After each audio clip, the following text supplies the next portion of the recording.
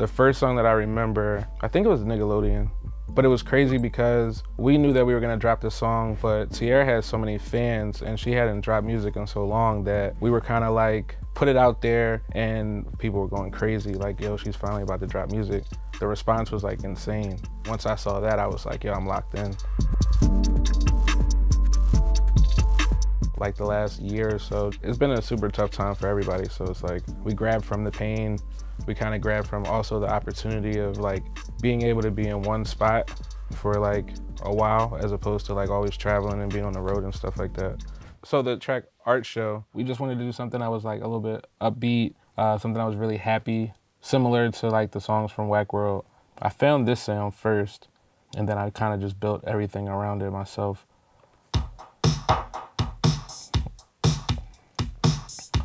So like the 80s drums kind of gave me like a like Michael Jackson thriller type of sound.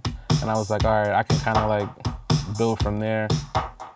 So from the 80s drum sound, I went to, I love the bass, so I was like, bass and drums, let me start with the bass next. Um, and I came up with,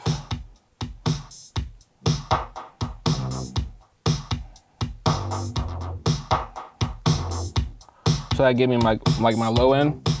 Uh, after I went through the low end, I was like, I need something else that's gonna stand out.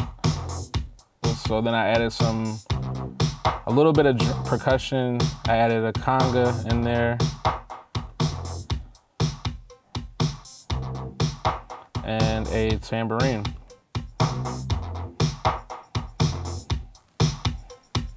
The 80s drums, I think, is the thing that's really gonna like, people are gonna listen to it and kind of like get a flashback.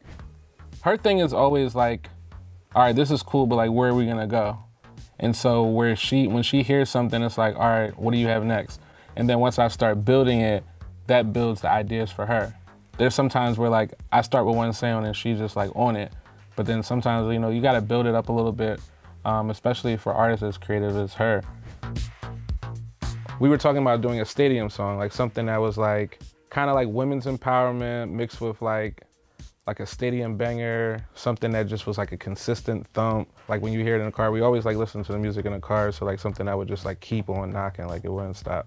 Whack does this thing where like when she's really hype, she'll get up and like walk to the console, and she like cause she loves to hear stuff loud. So like everybody's in the studio, and just everybody's headed nodding, and we're looking at each other with that like nasty stank face, like. Uh. And so we knew like from there, it was just time to build it. Pieces that came first were uh, when I found the loop on Splice, uh, I looked up distorted drums, I looked up distorted bass, and this is what I landed with. So I added the snare next.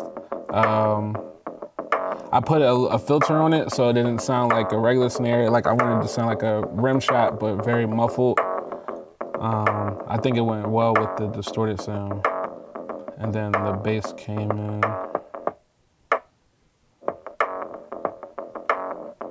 And during this part right here, I did like a little bit of uh, chopping of the sample just to give it a little bit of breakup. Um, I didn't want it to be like so monotonous throughout the whole record, so just wanted to break it up a little bit. And then I added the squeak sound. That's really it.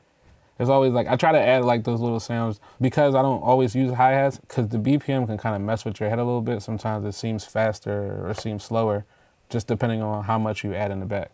And so I added a lot of I added a lot of back sounds just to kind of make sure that the the beat stays like steady. Usually she starts with the hook, and so what what I usually do is I go out the room and just give her like I'm really antsy, so like I'll come back when she has like the ideas or whatever and literally, I was out of the room for like three minutes, and she recorded the idea for the hook, and I heard it, and it was just like insane. And I was like, keep going, like we gotta like we gotta finish this record.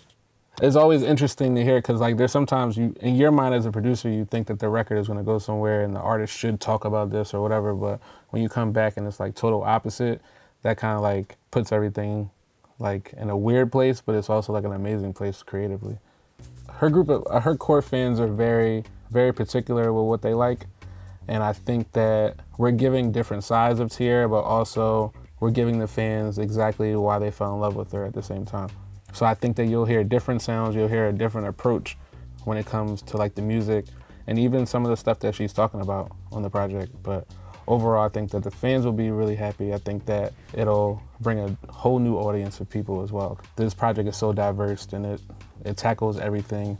It gives these people something that they like, these people something, but I think they're all meshed well enough that everybody's gonna love the entire project.